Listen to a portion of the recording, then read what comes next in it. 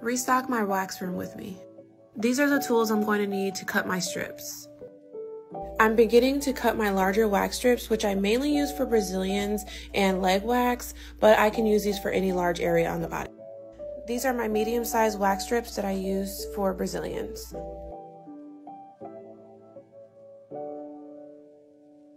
I'm cutting my smaller strips that I use for underarms and chin wax. And then of course my smaller size strips are used for eyebrows and lip. I like to cut the whole roll so I don't have to worry about cutting strips for a while. These are the applicators that I use for larger areas of the body. Here are the smaller applicators that I use, but I also use even skinnier sticks. I just didn't show you guys here in the video. I'm gonna start consolidating the cleansers that I have here, pouring the oldest one into the newest bottle.